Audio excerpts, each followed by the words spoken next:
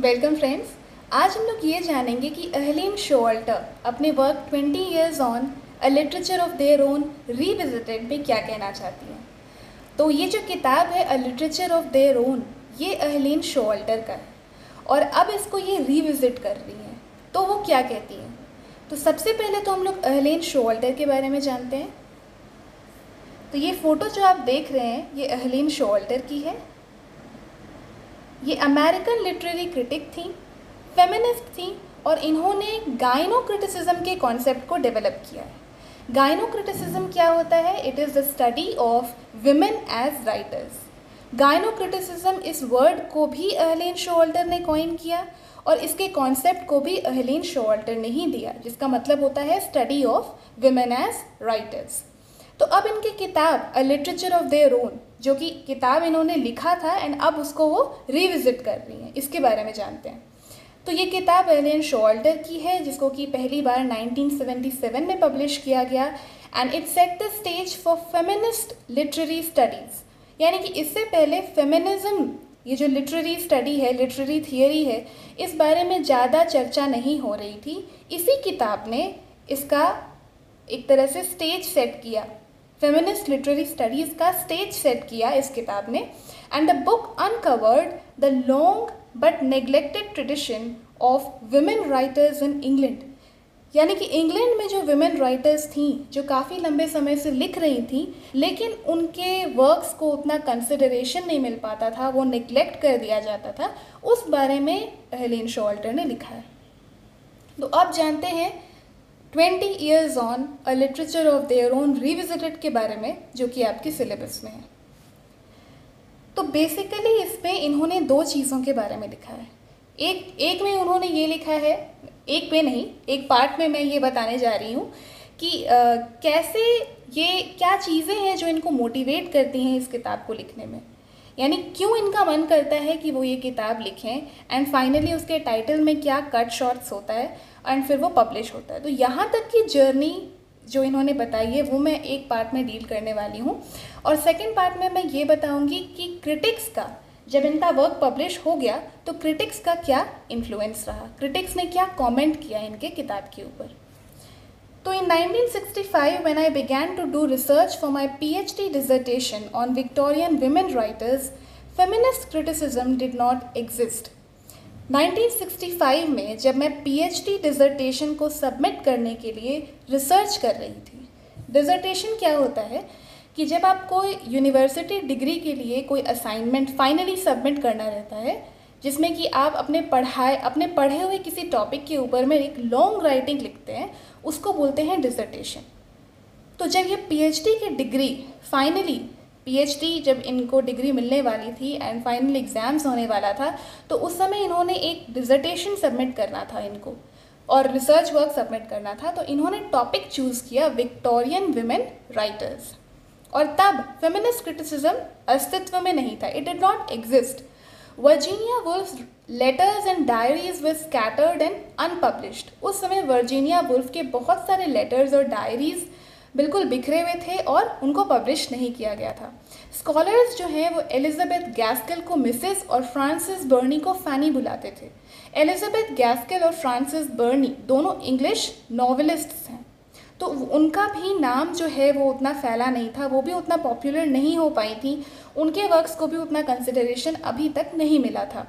No one edited women studies journals और compiled bibliographies of women's writing तो women के studies के ऊपर कोई जर्नल्स नहीं लिख रहा था, कोई वेमेन राइटिंग के ऊपर बिब्लियोग्राफी कंपाइल नहीं कर रहा था। यानी फेमिनिज्म उस समय नहीं था फेमिनिस्ट राइटर्स को उस समय महत्व ही नहीं दिया जा रहा था। तब इन्होंने इस टॉपिक को चूज़ किया।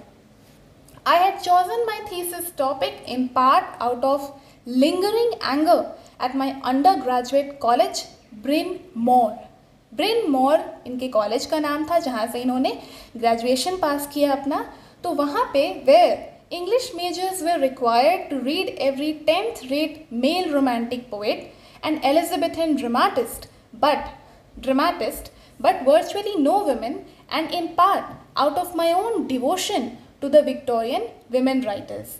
तो इनके इस कॉलेज में, इनके ब्रिन मॉर कॉलेज में इंग्लिश मेजर्स को, यानी जो भी ग्रेजुएशन की डिग्री हासिल कर रहे थे इंग्लिश में इंग्लिश ऑनर्स में, उनको इंग्लिश मेजर्स कहा जा रहा है। तो वहाँ पे इन लोगों को हर दसवें ग्रेड का मेल रोमांटिक पोएट और एलिजाबेथन ड्रामेटिस्ट को पढ़ना पड़ रहा था बट किसी भी वुमेन राइटर को ये लोग को स्टडी नहीं करना था। इनके सिलेबस में ही नहीं था कि ये लोग किसी वुमेन राइटर का भी नॉवेल लिखा हुआ या उनका कुछ लिखा हुआ पढ़े। एंड तो इसको इन इनको इस बात पर बहुत गुस्सा था, बहुत एंगर था। तो इसीलिए उन्होंने ये टॉपिक चूज़ किया विक्टोरियन वुमेन राइटर्स और दूसरा कारण क्या था? Out of my own devotion to the Victorian women writers इन्होंने विक्टोरियन वुमेन राइटर्स को कभी पढ़ा होगा तो वो काफ़ी डिवोटेड फील करती थी, काफ़ी उनको, उनका वर्क अच्छा लगता था। तो इसीलिए भी उन्होंने इस टॉपिक को चूज़ किया। Professional opportunities for academic women seemed so limited in the mid 1960s that I felt paradoxically free to write about the books I liked rather than the ones most likely to get me a job. तो academic women के लिए यानी जो women उस समय पढ़ लिख रही थी ग्रेजुएशन की डिग्री हासिल कर रही थी और भी जो यूनिवर्सिटी डिग्रीज अचीव कर रही थी, उनके लिए भी अकेडमिक वुमेन के लिए भी मिड नाइनटीन सिक्सटीज़ में प्रोफेशनल अपॉर्चुनिटीज़ बहुत लिमिटेड थी, बहुत कम थी। इसीलिए इनको लगा कि इनको ना तो इनको अपने पसंद के बारे में लिखना चाहिए। जो इनको पसंद है वो लिखना चाहिए, क्योंकि जॉब तो ऐसे भी जॉब मिलने का जो प्रोबेबिलिटी है, वो तो ऐसे भी बहुत लिमिटेड है, बहुत कम है। तो क्यों उस चीज़ के बारे में लिखें जिनसे कि इनको जॉब मिले बल्कि इनको उसको लिखने का मन किया जिस जिसको इनको लिखने का मन है जो इनको पसंद है। क्योंकि इनको पता है कि जिस चीज़ को इनको जॉब पाने के लिए लिखना चाहिए अगर वो ऐसा लिखेंगी तो भी जॉब मिलने का चांसेस बहुत कम है। By 1970 As the issues in my work and my life took on new meaning in the light of feminism, I began to envisage a much bolder critical undertaking than my thesis. तो 1970 आते आते मेरी ज़िंदगी एक नया turn ले रही थी फेमिनिज़म के लाइट में यानी कि क्योंकि मैं बहुत सारे वुमेन राइटर्स को पढ़ रही थी, बहुत सारे फेमिनिस्ट्स को पढ़ रही थी तो मेरी ज़िंदगी भी बदल रही थी। मुझे भी हिम्मत मिल रहा था और मैं बोल्डर क्रिटिकल अंडरटेकिंग लेना चाह रही थी।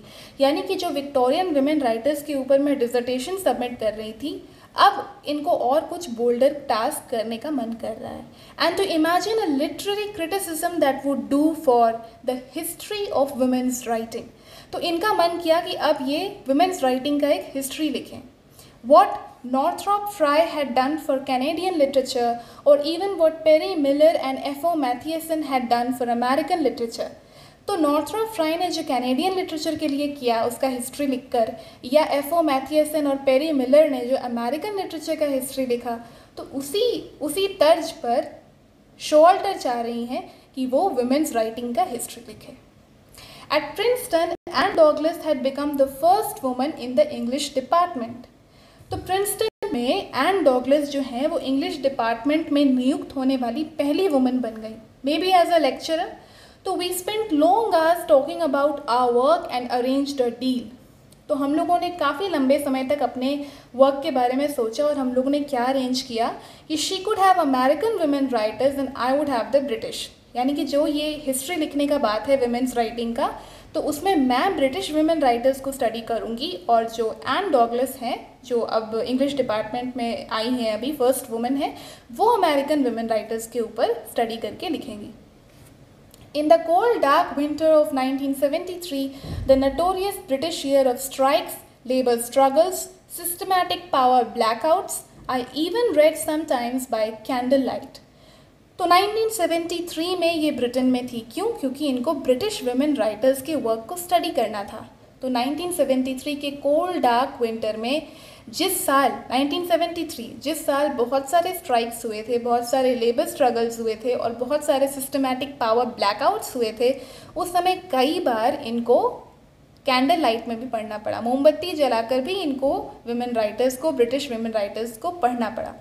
Following Anne Douglas' example, I started to buy Victorian women's novels second hand from street markets and shops and to build my own collection. तो ये एन डॉगलस के एग्ज़ाम्पल को फॉलो कर रही थी। एन डॉगलस ने क्या कर एन डॉगलस वहाँ पे क्या कर रही थी अमेरिका में? वो अमेरिकन वुमेन राइटर्स के जो नॉवेल्स हैं उनको सेकेंड हैंड बाज़ार से ख़रीद कर पढ़ रही थी और अपना एक कलेक्शन बना रही थी। तो उसी तरह शो अल्डर भी विक्टोरियन वुमेन के नॉवेल्स को ब्रिटेन में सेकेंड हैंड खरीद रही थी और पढ़ रही थी और अपना एक कलेक्शन बना रही थी। दोनों क्यों ऐसा कर रही थी? For writing the history of women's writing when I return from London I sent the manuscript to Princeton University Press and they accepted it with some substantial cuts half on the chapter on Virginia Woolf तो जब मैं London से वापस आई और मैंने Princeton University press को अपना ये स्क्रिप्ट भेजा, जिसमें कि मैंने उन सारे राइटर्स के ऊपर अपना जो रिसर्च वर्क है उसको लिखा था तो उन लोगों ने वर्जीनिया वुल्फ जो राइटर हैं, उनको, उन, उनके वर्क्स उनके ऊपर जो मैंने लिखा था, उनमें बहुत सारे कट्स किए with a long reading of the voyage out the voyage out जो है, वो भी वर्जीनिया वुल्फ का ही एक नावल है.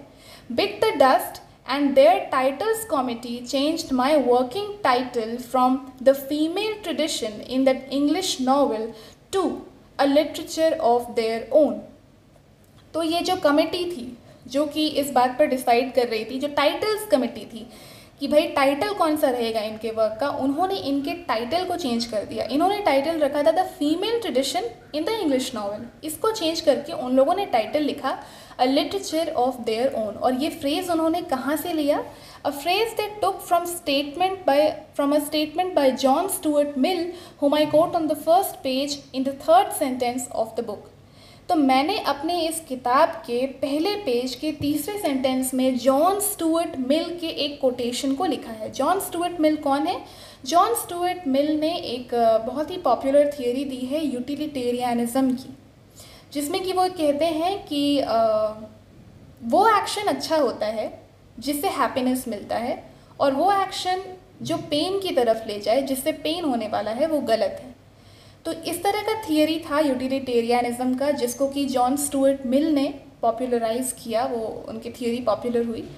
तो उनका ये जो कोट है, जो ये लिखती हैं अपने फ़र्स्ट पेज के थर्ड सेंटेंस में if women lived in a different country from man and had never read any of their writings they would have a literature of their own यानी कि अगर वुमेन मैन जहाँ रह रहे हैं, उनसे बिल्कुल अलग एक कंट्री में रहती और उन लोगों ने कभी मेन के द्वारा लिखी गई किसी भी वर्क को नहीं पढ़ा होता तो उनका एक अपना ही लिटरेचर होता।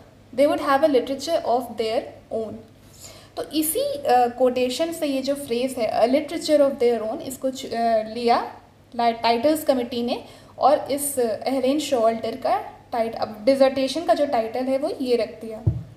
I like the new title because this sentence from Mill's the subjection of women was my departure point तो इनको ये पसंद आया, जो कि जॉन स्टूअर्ट मिल के work the subjection of women से लिया गया था। लिया गया था और इनको शोल्डर ने इनको अपने फ़र्स्ट पेज में कोट भी किया था।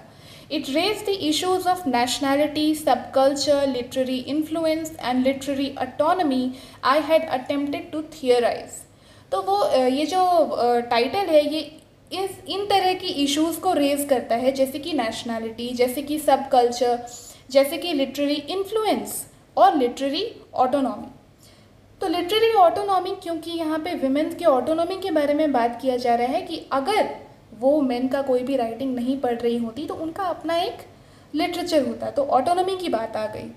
नेशनैलिटी की बात आ गई क्योंकि जॉन स्टूअर्ट मिल जो हैं, वो भी ब्रिटिशर थे और ये जो वुमेन राइटर्स को ब्रिटिश वुमेन राइटर्स के बारे में शोल्टर ने लिखा है, वो भी ब्रिटिश वुमेन राइटर्स हैं। तो नेशनैलिटी की बात आ गई सब कल्चर की बात आ गई लिटरेरी इन्फ्लुएंस और लिटरेरी इन्फ्लुएंस की बात क्यों आ गई? क्योंकि फेमिनिज़म के बारे में बात हो रहा है और मैन मैन राइटिंग से इन्फ्लुएंस होने का बात हो रहा है तो लिटरेरी इन्फ्लुएंस भी आ गया।